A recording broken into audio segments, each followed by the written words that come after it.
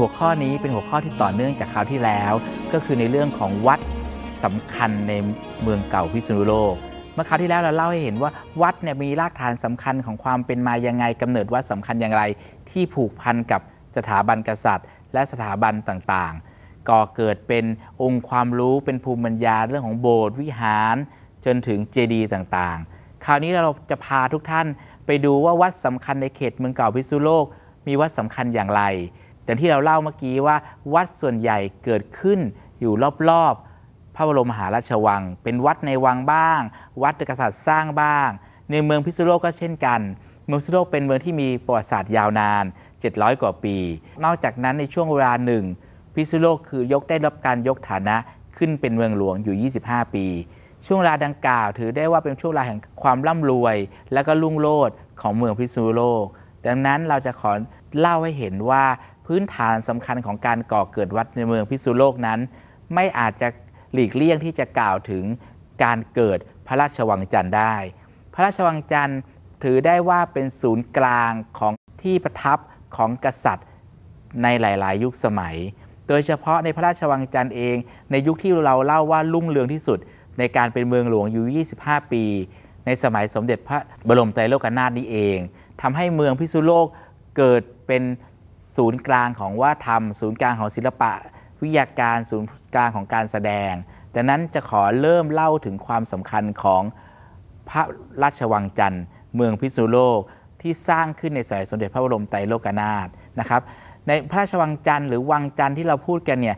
เราเห็นในปัจจุบันเนี่ยคือส่วนที่สืบเนื่องสืบต่อมา ตั้งแต่สมัยพระบรมไตรโลกนาถสมัยพระนเรศวร จนสืบมาถึงสมัยพระนารายมหาราช แต่แท้ที่จริงแล้วถ้าเราย้อนเข้าไปดูถึงตัวพระราชวังจันทร์เอง ลักษณะการทำผังวังพระราชวังจันทร์เนี่ยครับมีความน่าสนใจมาก ในอดีตสมัยพระบรมไตรโลกนาถจนถึงสมัยสมเด็จพระนเรศวรมหาราชเนี่ยพระราชวังจันทร์เนี่ยหันด้านเขตพระทหารชั้นนอก ขนานไปกับแม่น้ำน่าน พระราชฐานชั้นกลาง พระราชฐานชั้นใน ถ้าเรายืนอยู่ตรงริมแม่น้ำน่าน แล้วมองเข้าไปในเขตที่เรียกว่าพระราชวังจันทร์ จะเห็นอาคารสนามหญ้ากว้างขวางใหญ่โตตรงนั้นเอง ก็คือเขตพระราชฐานชั้นนอก พอมองเข้าไปตรงกลางที่เป็นอาคารหรือสิ่งที่เรียกว่าพระตำหนักสมเด็จพระนเรศวรศาลสมเด็จพระนเรศวร ตรงนี้เองคือเขตพระราชฐานชั้นกลาง และเลยออกไปที่เรารู้จักกันในว่าในนามว่าสะสองห้อง หรืออุทยานสองห้อง นั่นคือเขตพระฐานชั้นใน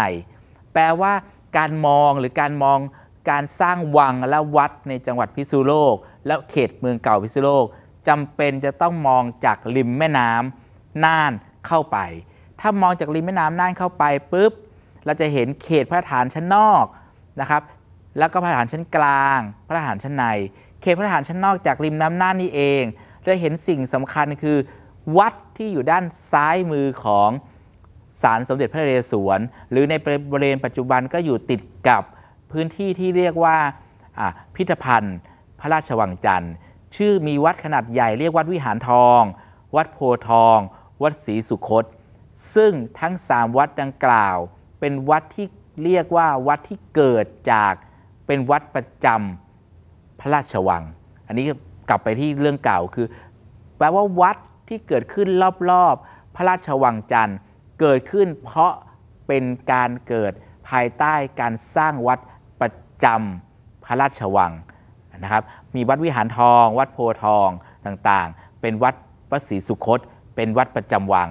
ไม่ใช่วัดประจำเมือง แต่วัดประจำเมืองก็คือวัดพระศรีรัตนมหาธาตุหรือวัดใหญ่เป็นวัดประจำเมือง ดังนั้นเราค่อยๆเห็นเลยนะครับว่าในเขตพระราชวังจันทร์เนี่ยมีพื้นที่ของการใช้สอยนะครับตัวพระที่นั่งต่างๆเกิดขึ้น นะครับในเขตที่เราจะพูดกันตรงนี้คือเขตพระราชวังจันทร์ในยุคที่ 2 ในยุคสมเด็จพระนเรศวร เกิดพื้นที่ที่เรียกว่าพระที่นั่งพระที่นั่งสมเด็จพระนเรศวรดังนั้นพระที่นั่งสมเด็จพระนเรศวร เขตที่ทูตานุทูตชาวต่างประเทศจะเดินทางล่องแม่น้ำน่านเข้ามา และเข้ามาเข้าเฝ้า จะเข้าเฝ้าทางด้านเขตพระฐานชั้นนอก และสมเด็จพระนเรศวรจะเดินทางออกมาจากเขตพระฐานชั้นใน เข้ามาบริเวณที่เรียกว่าเขตพระฐานชั้นกลาง เพื่อเข้ามาสู่บริเวณที่เป็นเขตรับแขกบ้านแขกเมือง ให้ขอให้ทุกท่านได้เห็นว่านี่เอง คือลักษณะของอาคารที่เป็นลักษณะอาคารพระที่นั่งในสมัยที่สร้างขึ้นในสมัยยอดบนสุดคือสมัยพระนารายณ์และนอกจากนั้นยังมีภาพพระราชวังที่มาจากการสมมติฐาน และกการศึกษาค้นคว้าทางวิชาการต่างๆ จนได้ภาพพระที่นั่งในสมัยสมเด็จพระนเรศวรอีกรูปหนึ่งนะครับ อันนี้ก็คือว่าพระที่นั่งเราเห็นอยู่ใน ในวังจันทร์ตอนนี้จากรูปสันฐานมี 2 ยุคนะครับ คือยุคบนสุดคือยุคพนารายสร้างจากไม้จันทร์ อาคารขนาดเล็ก แล้วก็ลงไปลึกลงไปจะมีลักษณะของฐานปูนยอดเป็นเป็นฐานปูนและผ่านไม้ เป็นศิลปะที่ร่วมสมัยวิทยาตอนกลางนะครับในสมัยสมเด็จพระนเรศวรมหาราช เป็นยุคที่สองหรือเรียกว่าพระที่นั่งในสมัยสมเด็จพระนเรศวรมหาราช ภายใต้การสร้างเหล่านี้ทำไมเราศึกษาค้นคว้าได้ว่าพระที่นั่งในสมัยสมเด็จพระนเรศวรมหาราชเป็นอย่างไร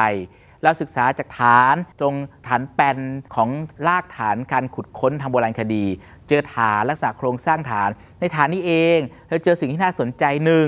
เราเจอกระเบื้องขอหรือกระเบื้องหลังคา เจอสิ่งที่เรียกว่าเครื่องถ้วย เตาไหเจอแหนบ เจอปิ่นปักผม แต่น่าสนใจที่สุดเราเจอคอนโทรด้วยนะครับ ในในเขตพระฐานเราเจอคอนโทรสำลิดอ่าซึ่งเป็นลักษณะเหมือนกับคอนโทรที่เราเห็นในวัดลาดบุรณะของกรุงศรีอยุธยา ซึ่งทำด้วยทองคำจากข้อมูลสันฐานเหล่านั้นยังเป็นแค่โบราณวัตถุ แต่สิ่งที่เราเชื่อมั่นว่าชั้นดินที่ต่ำลงไปอีก 1 เมตร และก็ไม่ใช่รูปลักษณ์ของฐาน พระราชฐานชั้นบนที่ทำการศึกษาไว้แล้ว แต่ฐานล่างลงมาอีก 1 เมตร เราเจอฐานชั้นดินของพระที่นั่งในสมัยสมเด็จพระนเรศวรมหาราช ก็คือเจอ